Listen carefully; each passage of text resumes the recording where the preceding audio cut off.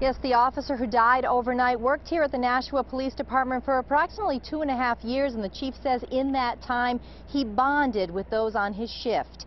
Now, the officer, whose name has not been released yet, was at the Sherburne Road home in Pelham. He was off duty at the time, and late Wednesday evening, a 911 call was made from the house, and first responders found the man suffering from a head injury. He was rushed to the hospital where he died, and the Attorney General's office is investigating, but say the death does not appear suspicious and it appears to be accidental on his part. Now, the police chief says that counselors were brought in here to the police department for anyone who's having trouble dealing with this.